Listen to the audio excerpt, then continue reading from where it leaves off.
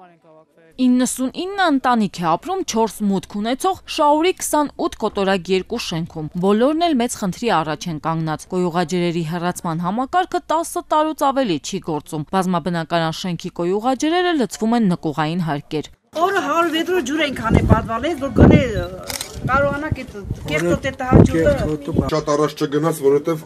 մի անգամ աստիճանները փլել է,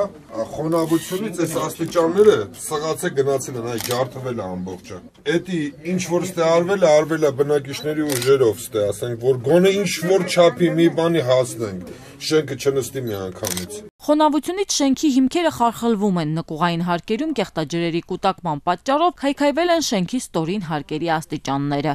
Այս ինչ վիճակ է։ Այդ ջուրը թափում է սաստես, Շռալով ջուրը գալիս է, տես բան են կարի, որ Ուրեմն պարը այնքան տվել է ներքևից։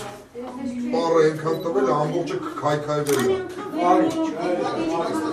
բարի է։ սա արդյունք է ներքևի 10 տարվա արդյունք է։ Մի օրվա արդյունք չի, էլի։ Տարիներ շարունակ ինչ արվում է շենքում կամ բակում, բնակիչների նախաձեռնությամբ ու միջոցներով է արվում, բայց պատկան մարմինները նույնպես անելիք ունեն, ասում են բնակիչները։ Վարչական շրջանում եւ քաղաքապետարանում խնդրին ծանոթ են։ Բնակիչներն էլ հուսով են, որ խնդիրը լուծում կստանա ավելի շուտ, քան այս հասցեում կգրանցվի որևէ փլուզման դեպք։ Աննա Գրիգորյան, Գագիկ Շամշյան, Կարեն Թադևոսյան, այսօր